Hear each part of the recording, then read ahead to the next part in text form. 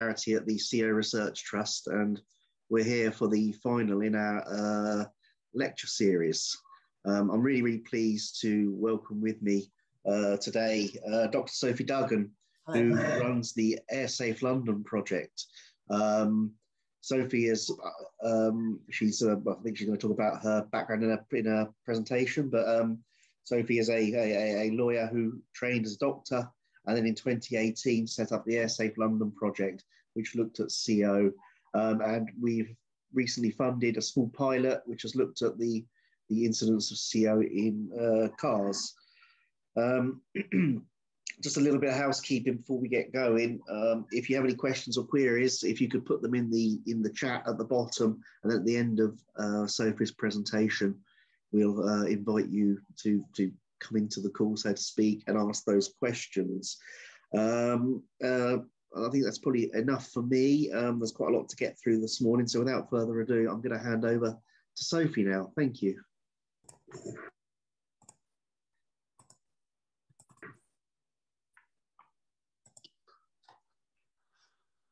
Well, hello, and welcome to the final in the Carbon Monoxide Research Trust series of winter lectures. I'm Dr. Sophie Duggan, and I will be talking to you today about my recent research project, the AirSafe study, and I'll be investigating carbon monoxide inside cars. What are we breathing? Well, a little bit about me just to start off with. I began my career in corporate law. I did graduate entry medicine 10 years after that at St George's University of London. I qualified in 2016 and I went straight into research, straight into carbon monoxide research um, with the support of the Carbon Monoxide Gas Safety Society um, and also later on with a grant, a research grant from the Carbon Monoxide Research Trust. I launched the AirSafe study in 2018. That ran until 2021. I'm planning to publish this year, and here is a preview of my findings. So just to take you through a brief outline of how the presentation is going to run today, I'm going to start off by looking at the evidence that's out there, that's out there already as to how much CO is in cars, what people have been breathing, and the evidence out there, the body of evidence out there to show what people have been breathing. Um, then I'm going to ask the question of how much is too much and share some of the results of the literature search I've done on that. Um, having done that, I will present my own findings, which very much reproduce what's already been known. Um, but the difference is my findings reproduce um, global studies done over the last 20 years um, in cars driven by ordinary motorists today in the UK. Um, and once I've set out those findings, I will discuss how to translate them into real change, how to make sure that people stop breathing low level carbon monoxide in their cars on a chronic basis, um, how to stop people from suffering the ill effects that, uh, that result as a consequence of that, and how we can do it soon. We'll then move to Q&A. So let's get started. So I first got involved with the issue of carbon monoxide in cars in 2013. Uh, when we discovered as a family that our car had been leaking exhaust into the passenger cabin for several years, um, completely unknown to us. Um, it was only when the exhaust had been making a bit of a funny sound that we took it to the local garage. We were very lucky. We happened to have an excellent, really excellent local garage run by the kind of guy who still takes cars and motorbikes apart and puts them back together for the love of it, rather than a guy who just runs computer diagnostics. Um, and uh, he called me in and he said to me, Has any member of your family been suffering from unexplained illness? Now, I had to say yes to that because for some years while we'd been driving this car, my middle son, who's pictured there, age two, he's 14 now, he was he was much younger then. Um, my middle son had been suffering what in medicine are known as B symptoms. And for anybody non medical in the audience, B symptoms are pretty frightening. They're a combination of drenching night sweats, weight loss, and swollen lymph nodes. His lymph nodes were swollen up really quite markedly in his neck. And our GP had told us to be prepared for a diagnosis of lymphoma. Um, he'd been taken for a scan. Um, somewhat to our relief and surprise, the scan was found negative for lymphoma. The lymph nodes themselves were not cancerous um, to look at, at any rate, which begged the question of what's making them swell, what's making him so poorly. And uh, anyway, going back to my conversation in the garage, uh, I said, yes, yes, yes, some members of my family have been very unwell. And uh, I hadn't been feeling great either. In all fairness, I'd had some unexplained chest pain, I'd had some headaches. He took me outside to the yard and he said, Well, I think this is your problem. And he showed me the catalytic converter of the car. And inside the cavity of what had been the catalytic converter, there was nothing but blocks of soot that had formed there over a long period of time. Of course, the presence of those blocks of soot had created an obstruction to the flow of exhaust. That had caused back pressure on the system. That had caused multiple little leaks to open up all along the system, all along the exhaust system. And we'd been breathing it for goodness knows how long. Now, the, the mechanic said to me that he saw cars coming in on a weekly basis with this kind of issue. Um, we got rid of the car, naturally enough, and uh, my son's symptoms disappeared as did my ill health. Now, that's not medical proof that the car was causing his symptoms. Of course, it's not. But nevertheless, the whole experience prompted me to ask what are we breathing in our cars? So I had a look at the medical literature, um, and it's pretty abundant. You can, for example, there's a meta analysis done in 2007 a review of 17 studies. Uh, the in-car average, in-cabin average rather, 10.5 ppm, above the levels experienced by cyclists, above the levels experienced by pedestrians in those studies. And of course, 10.5 ppm is above the level that a gas safe engineer would consider safe in your kitchen or mine if he was called out to look at the boiler, which is pretty worrying. Um, reflecting this, CO is regularly in the news. I don't know how many people here followed the Ford Explorer story. Policemen in Texas were exposed to carbon monoxide fumes, which entered the passenger cabin through leaks. Um, and as recently as 2021, a taxi driver in Melbourne received a pretty chunky payout um, after he suffered serious permanent brain damage, after he suffered a major heart attack, after he breathed exhaust fumes that were leaking from the exhaust system inside his, his taxi. So just briefly, uh, to touch on exhaust leakage in sidecars, um, there's a diagram here. You can see many, many components that go together to form the exhaust system of a car. The exhaust fumes are under pressure all the way through. They're resonated here. Um, yep, they resonated here. What this what this system, what this diagram doesn't show, of course, is the exhaust gas recirculation system. There's a very good paper from MIT uh, that suggests that that's a particular point of vulnerability. Um, it also doesn't show the coolant system, and it turns out that exhaust fumes can seep into your coolant as well. Um, this isn't really new news. Um, as long ago as 1981, a study was done of more than a thousand so-called sustained use vehicles. So that's that's vehicles that are used pretty much continuously for four hours or more, vans, police cars, taxis, and each contained on average four to five points of exhaust intrusion. So now we have to ask ourselves, how much CO is too much CO? Here we have the CO molecule, um, and the first thing to say, really, is that chronic low level carbon monoxide exposure is a separate clinical entity to acute high level CO exposure, um, which, which we'll all be familiar with. We've, we've all read the tragic stories. Some people here will have dealt with the survivors of those incidents in large quantities. As we know, it's an asphyxiant. It can kill or produce lasting brain damage in a matter of hours, if not minutes. At low levels, it won't do that. However, what it will do is cause wide ranging multi organ damage using other pathways. It can, uh, which I will go through in a moment, One is linked to the release of nitric oxide inside the body. Another is linked to the bonding between carbon monoxide and cytochrome C oxidase. There's a way of thinking about the effects of low level chronic carbon monoxide upon hypoxia, although it's not an acute short term asphyxiant. Hypoxia is still worth talking about. And lastly, it's important to identify or to talk about some of the vulnerable groups who are particularly affected by breathing carbon monoxide at low levels. Today, I'm going to look at pregnant women, children, and the unborn. So we'll talk about the release of nitric oxide. So when you when you breathe carbon monoxide, even at levels as low as five parts per million, that's not much.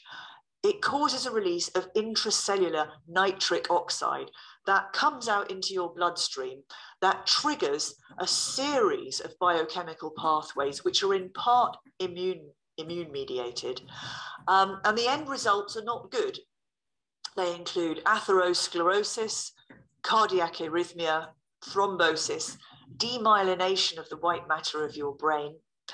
What you're effectively doing by breathing low levels of carbon monoxide, especially on a continuous basis, is lighting a slow burning fuse inside your body, which, because it's immune mediated, will continue to activate even after you're out breathing fresh air even after you've cleared all the carboxyhemoglobin from your system, long after any medical professional has given you a clean bill of health.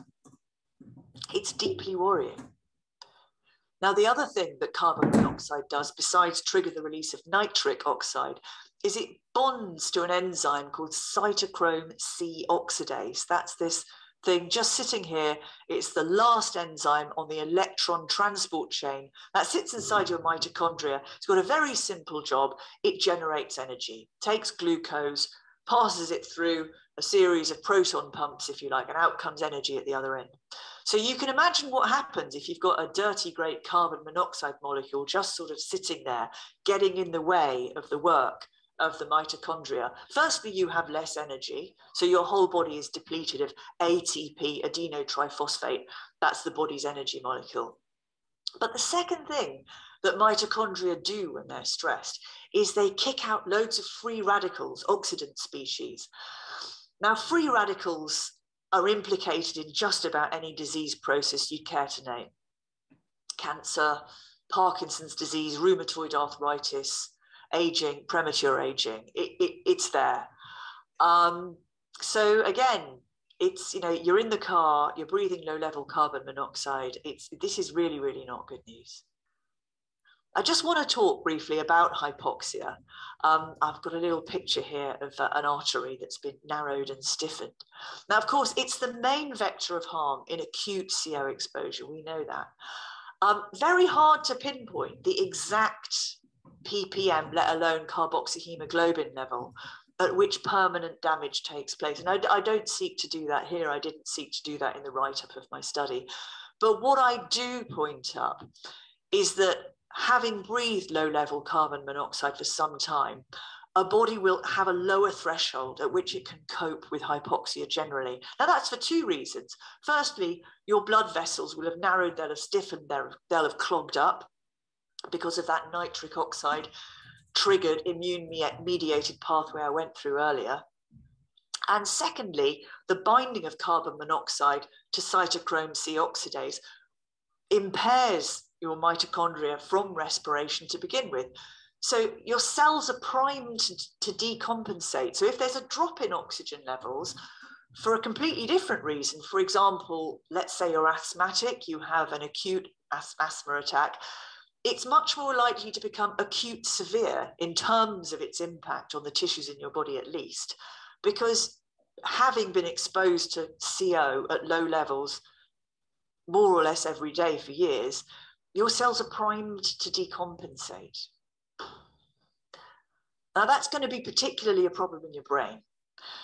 Neural tissue is especially vulnerable to drops in oxygen levels. It's a very oxygen hungry organ.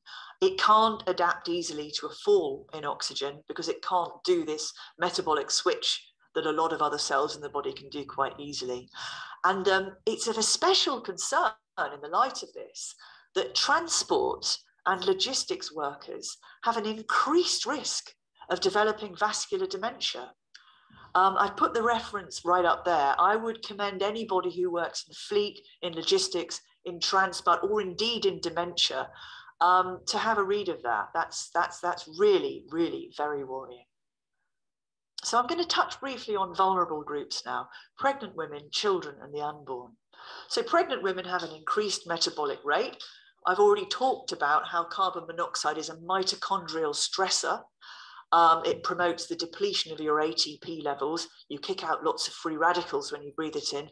And you won't be surprised to hear that oxidant species are linked to many, many negative outcomes infertility, miscarriage, preeclampsia, intrauterine growth restriction, preterm labor, and more. Um, and also, it's probably worth mentioning that nausea, which is you know, textbook symptom of CO exposure, can easily be misread as morning sickness. Now, children, likewise, have an increased metabolic rate and the vulnerability to CO that goes with this.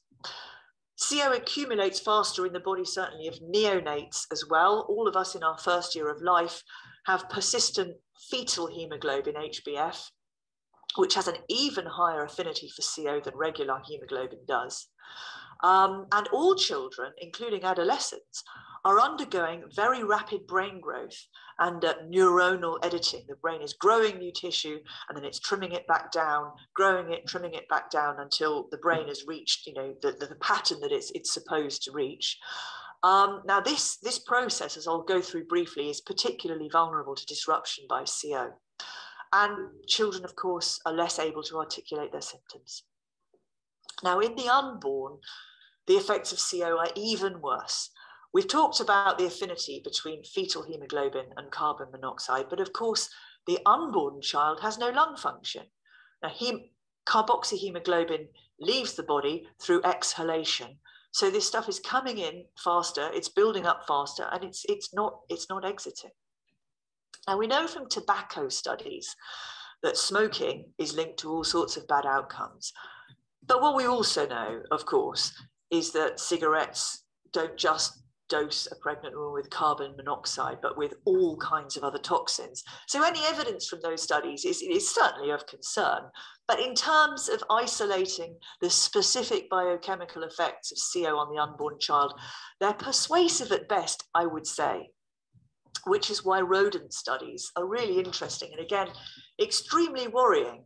Um, at quite low levels, five parts per million, again, what CO is capable of doing is disrupting pre-programmed apoptosis, this neuronal cell editing.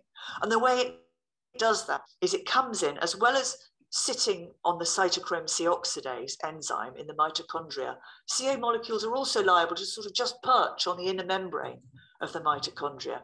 And what they do there is they inhibit the exit of a particular subunit which combines with two other subunits outside of the mitochondrion and forms something called the apoptosome. And the apoptosome is the cell editing tool, tool that ensures that the brain develops properly.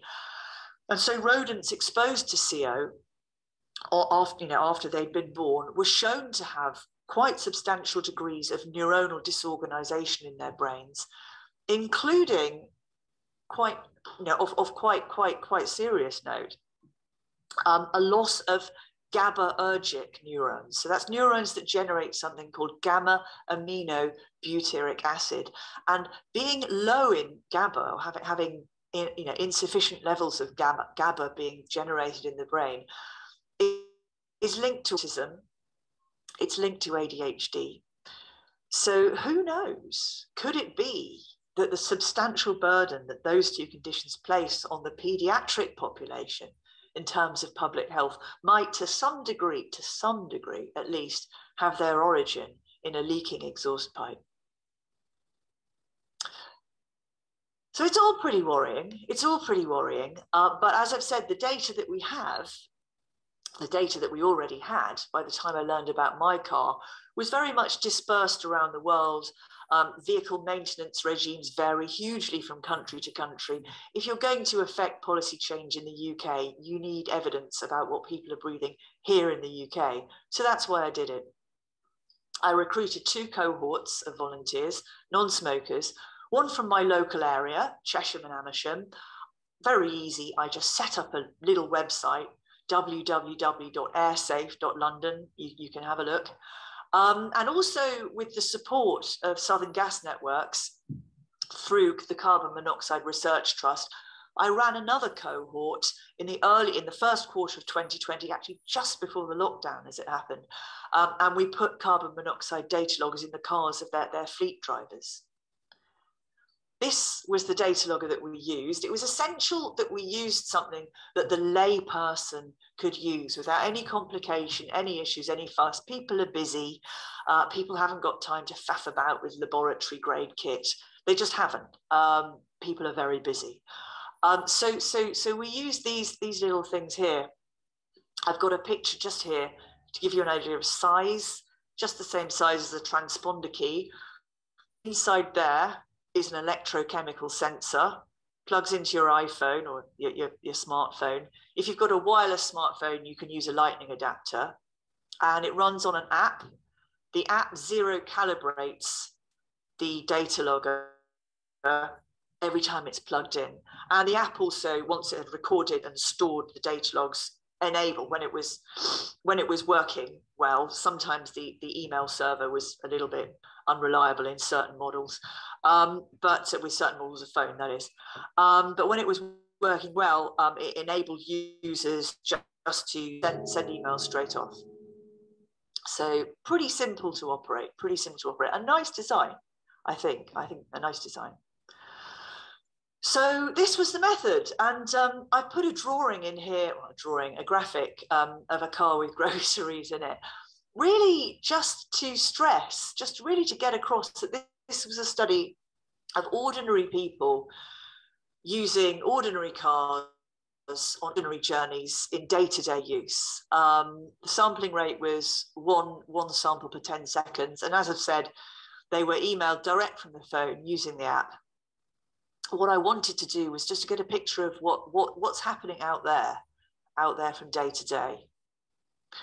Um, before I move to the results, it's probably a good idea to sound a slight note of caution on how we extrapolate um, my, my, my findings. This was very much a small scale pilot study. Um, there's also, of course, a potential sampling bias in that the self-referring cohort, the Chesham and Amersham people, may well have been prompted to respond to my call for volunteers because they were already worried about their cars. And as I've said, the technology is still in its very early stages of development. Um, you know, the app did need to be tweaked now and again. The sensor performed extremely well. It performed very well, cross-tested against the Lascar CO300. So at times, the app, um, for example, when we got very, very high readings, which we did, a few times, the x-axis on the graph would go above the reference range, well, not the reference range, above the sensitivity range of the sensor. When that happened, um, I counted the values at 999 parts per million uh, because that was the maximum range of the sensor and used them in calculations. Um, but with that in mind, here we go. So here were my overall results. Um, there were 27 drivers uh, 32 vehicles of various kinds, 251 data logs. I had some really excellent testers out there. Really, you know, some people really stepped up. They were very impressive. Um, 13 vehicles had no CO in any journey, which was extremely good news. And actually somewhat surprising. I was expecting all cars to have a certain residual amount of CO just because of what's on the roads, just because of all the tailpipes on the roads. But, but it seems that CO in cars is actually completely avoidable, which is, you know, when you think about it, very good news. Um, of the cars had non-zero CO in at least one journey, in at least one data log. So let's look at the non-zero group. We've got something of a U-shaped distribution, I guess. Um, nine cars scored pretty low levels between zero and five. Um, just three were in between, between five and 50. But in seven cars, in seven cars, there was at least one reading above 50 parts per million CO. And what I'm going to look at now are some of the more interesting readings that we got. So we'll begin here with a low level continuous leak. This is a Volkswagen Polo, a petrol model, 13 years old, pretty elderly car. Here it is with the windows open. Here it is with the windows closed. So what you can see here is, I mean, it's a pretty short data log, but there's a steady build of CO. And, and what I would really like to know is what happens to that line when the car drives for two hours, three hours, I don't know, from Hemel Hempstead to Leeds, let's say, um, with, with, the windows closed. I just wonder, I just wonder how high those levels could get. Um, but it's pretty clear evidence that something's leaking from inside the car there. Now, three cars showed a very different, but also very interesting pattern of extremely elevated CO levels on ignition, which fell to almost zero as the catalytic converter warmed up and the car moved off. And um, at first, I thought, well, perhaps this is a calibration error on the part of the data logger. But then I thought, well, hang on, the data logger auto calibrates as soon as it's connected to the phone. Um, it, it, it, by the time by the time a data log is is run recorded auto calibration's already happened so i could rule that out and then it seemed to me that probably what we're dealing with here and also here, you'll see the x-axis runs a bit higher. Um, and also here, again, I cut the values off there, 999 parts per million. But it seems to me that what's happening probably is that there's a leak downstream of the catalytic converter. And as it warms up and as it scrubs CO from the exhaust gases, the passengers are no longer picking up CO, which doesn't mean there still isn't exhaust gas entering the car. You know, this is this is deeply worrying. It could be that the passengers in those cars were, were breathing very high levels of other toxic gases. There's been some excellent research done up in Edinburgh on the effects of particulates in diesel exhaust on people's health. Very much aligns with other findings, findings that you know, I found in my literature, literature search um, on the effects of CO at low levels, also promoting atherosclerosis at low levels. It's a, it's a toxic cocktail. It could be that the leaks didn't close up at this point. It's just that the, the CO was scrubbed from them. And I think an interesting angle in future studies of this kind would be would be to test for other other toxic gases as well as CO. But but there we are. It was an interesting pattern. We picked it up in three cars. And uh, Two cars I'm going to show you now have a different pattern, which is of CO levels accumulating and then kind of falling gradually, but but but but not massively. Um, this was a lady driving her car on the way to the shops. Really not brilliant. She was worried about headaches, um, had two small children. This is a car, on the other hand, that, oh, I should say, this car, this was the worst journey log we had in this car, but it had a lot of other journeys with a lot of CO. Whereas in this car, which has a slightly similar pattern, the interesting thing about this car was that in almost every other journey, there was hardly any CO at all, very unlike the Toyota. Um, now, I asked a little bit more about this journey, or, you know, what, what was different about this journey? And the lady who owned this car said, well, I was driving uphill traffic was very heavy. It was a cold day, and both sides of the road were very steeply embanked. Now, we know from previous studies that this is a classic trap, if you like, for clouds and clouds of CO. It's what one researcher terms a street canyon. Um, and it, it would appear, especially in the light that the other data logs from this car were so, so CO negative, really, for the most part, it would appear that what this car was doing was sucking in fumes from the car in front.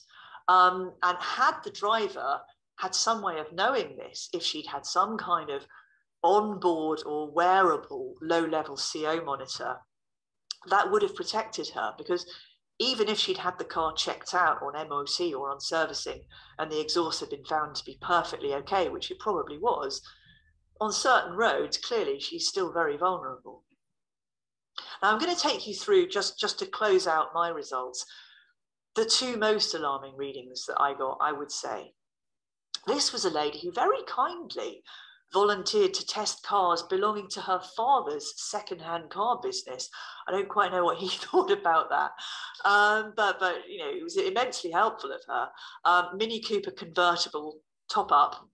Um, whenever she put her foot on the gas, she said that's when she got these really quite scary spikes. So that car was withdrawn from sale. It was sent off to the garage to be looked at. Um, but while she was doing these tests, a friend of hers, it turned out, had been to Stoke Mandeville Hospital with nausea, dizziness, and headache, like very, very serious, very serious nausea, dizziness, and headache. She'd been examined in A and E. Um, they'd made no diagnosis. They discharged her, um, saying she was stressed, probably overworked. And she continued to feel absolutely awful. So the lady who did this test said to her friend, Well, look, why don't you have a go with this carbon monoxide testing thing um, that I'm doing um, for, for, for, this doctor who lives locally. You, you never know. Uh, the hospital didn't pick up on it, but you know, still could be the case. So let's give it a go. And this is what we found. Again, capping the values off here. If you look at the printout, reading by reading, this baseline, you'll notice the first interval on the x-axis takes us from zero to 333. This baseline is in fact about 50 parts per million. So this lady's breathing 50 parts per million carbon monoxide continuously in her car with these enormous spikes. Um, perhaps when she puts her foot on the gas, I don't know in this case. Um, and she's feeling absolutely appalling. And in fact, she's felt pretty ill since she bought the car got rid of the car after seeing these numbers and felt a lot better. And in view of the fact that the hospital had not realized or picked up on or asked any questions about carbon monoxide exposure, in view of the fact that she had textbook symptoms, and in view of the fact that those symptoms went away, you could almost say, I don't know, did we save a life that night? perhaps that's a bit too much to say, but but nobody nobody should be breathing 50 parts per million CO in their car all the time. Nobody should be, and and nobody should be unable to learn that either by seeing a doctor or, or by any other means. You know, had I not been running my study in the vicinity that weekend, she would never, never have known. So here's a summary of findings a substantial body of literature shows that CO can accumulate within vehicles. And I hope I've also shown today or explained to you today just how seriously harmful to health chronic low level CO inhalation can be. Um, and again, I also hope I've shown that my study shows a significant proportion of cars in the UK may be, maybe exposing their occupants to CO partly because it comes in because of internal leaks, or partly, as in the case of the Dacia Sandero, because it's sucking in CO from the tailpipes elsewhere on the road. Um, and, you know, I put a little worried Easter egg here because, you know, this really, really worries me, um, especially as a, I suppose, yeah, I'm a survivor of CO exposure myself, as are my children. Um, it, this is this is immensely it's immensely worrying it's immensely worrying so where do we go from here well how many uk motorists could be affected um, extrapolation as i've said especially from a little pilot study like mine with all of the issues that pilot studies tend to encounter novel technology small sample size risk of sampling bias and so on and so on Extrapolation is something that you should do with caution. Um, that said, the numbers are really not great. Um, doing the maths, we're looking at 23 million drivers in the UK today, plus their passengers.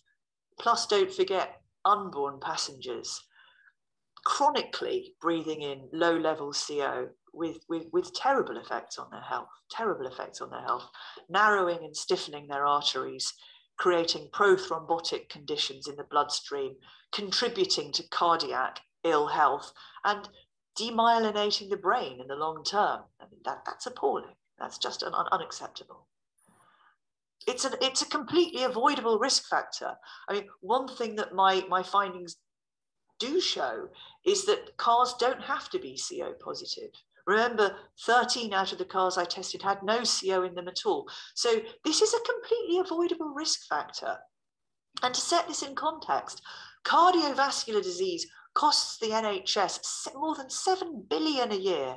And when you add in the wider economic costs to society, you're looking at in excess of 15 billion pounds a year, which of course is why cutting cardiovascular deaths by 150,000 over the next 10 years is a headline milestone of the NHS long term plan.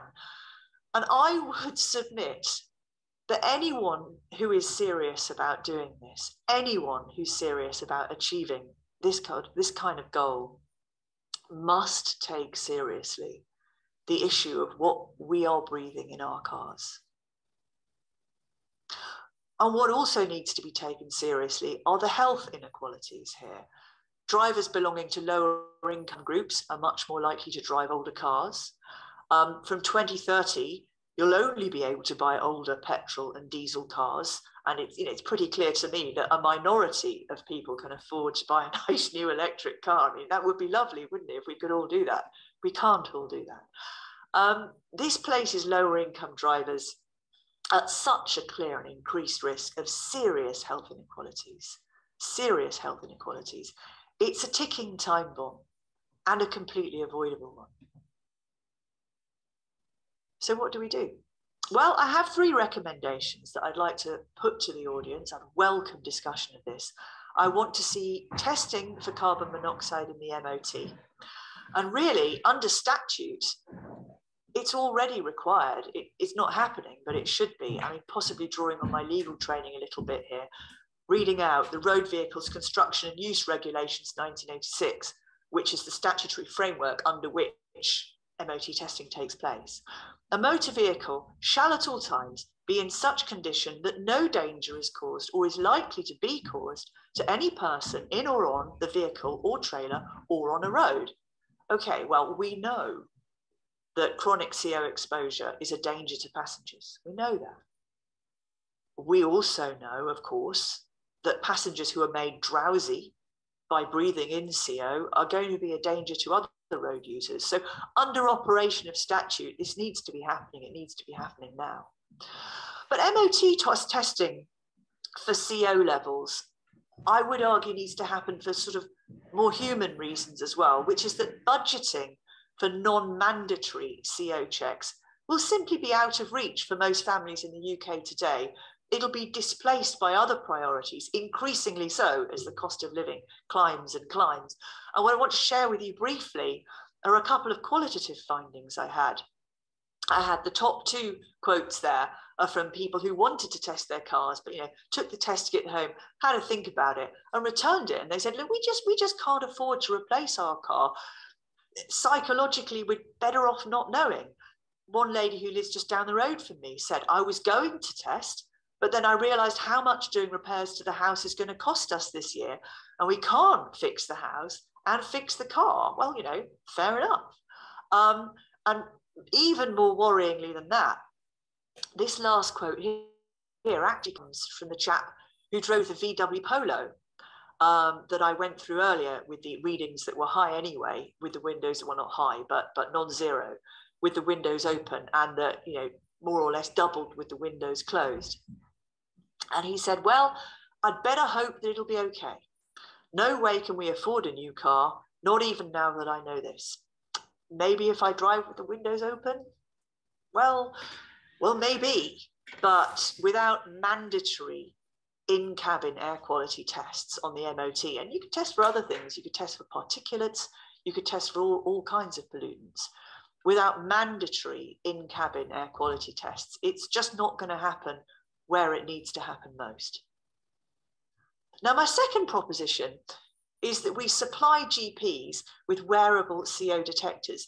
You'll notice there's a picture here of um, a Holter monitor, a portable ECG, not a wearable CO detector. Now, the reason I put that here is I really want to get across to people that wearable diagnostic technology is nothing new. It's nothing new. People have been wearing ambulatory ECG monitors, I think, since the late 1960s. For GPs to have something in their diagnostic toolkit, if you like, that involves sending a patient home with a wearable is, is, is not novel. It's not novel, it's not complicated. Um, and of course, it's necessary because the half life of COHB is approximately four hours on room air. You could be breathing CO in your car on your commute to work. You could make an appointment with a GP. You could be seen late that afternoon in afternoon surgery just around the corner from your work, by which time you've cleared all the COHB. Um, you'll be breathalyzed or have a blood draw, and the GP will draw a false negative and will cross potential CO exposure from the list of, of, of, diagnostic differentials, assuming it was even there in the first place. Um, that's very dangerous. The other thing that wearables would do, of course, is enable GPs to pinpoint the source of CO exposure. I mean, I hope today I've made clear just how dangerous an environment the car can be from the point of view of low level CO exposure, but it is by no means the only environment that can expose people to CO levels too low to cause an acute event, but far too high to be harmless. Um, if you've got a trace, if you're a GP and you've got an actual trace that's mapped against time that tells you that your patient who's suffering unexplained chest pains, let's say, and is feeling inexplicably tired, um, you can see that this patient is breathing elevated CO every afternoon between the hours of one o'clock and four o'clock. Maybe they're a teacher. Maybe they're teaching in a science lab which has got a slightly poorly maintained heating system, right? And you can say, oh, right, what do you do at that time in the week? Um, I can see that you're breathing CO at that time. That way, not only do you diagnose the issue, you can actually start, you can equip the patient to tackle it at source. It's it's almost it, it's it's a no-brainer, really, isn't it? Um, and lastly, I would just briefly mention that introducing wearable CO detectors to the GP, you know, arsenal, if you like, um, would be a huge resource saving on GP time. In 2016, actually, I conducted an audit of a GP surgery in Surrey. Um, I looked at 67 patients who presented um, describing themselves as being tired all the time over a three year period, over the previous three year period. And now, on average, those patients represented five times. And in 37 cases, there was no diagnosis made.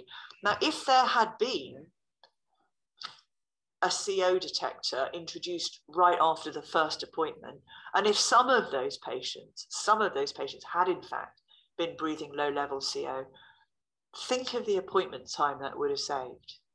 It's this is this is simple technology and it's it's it's well overdue introduction and it, it really needs to happen.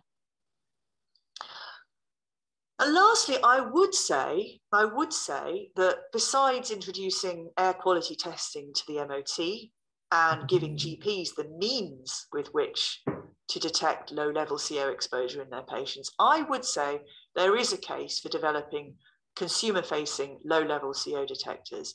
I mean, everybody can buy one of these, and thank goodness, but these are not designed to pick up chronic low level CO exposure. That's not their job. They're there to prevent acute toxic inhalation and, and, and death. Uh, and that's what they do, and they do a great job of that. Um, it's not their job. We need different technology. Um, and if you think about it, the home and the workplace, as I've already mentioned, they're high risk environments. We know that over 65s are more likely to be CO exposed in their homes. The studies show that. Um, nowadays, especially, they're definitely going to be keeping the windows closed to keep the heat in. Think of what you might be breathing. If you're a carer going from home to home, think of what you might be breathing.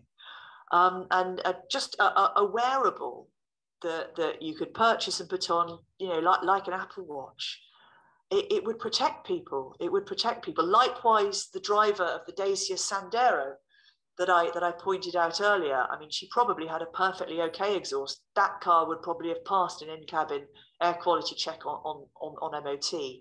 Um, but but she would have been protected by a wearable, wouldn't she? So, next steps. Well, the Carbon Monoxide Research Trust is planning an upscaled in-cabin testing program, which is fantastic news. I'm seeking wider support, meanwhile, also for the issue with digital health champion, there may be. Um, and I would be very, very, very happy to contribute to discussion with any and all interested parties about this. You know, as I say, I've spent the better part of the last four years looking into this into some depth I'm a resource. Um, contact me, talk to me.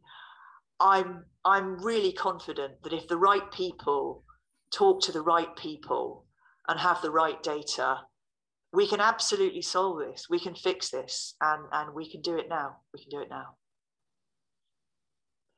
Well, thank you very much, and uh, we'll move to Q and A.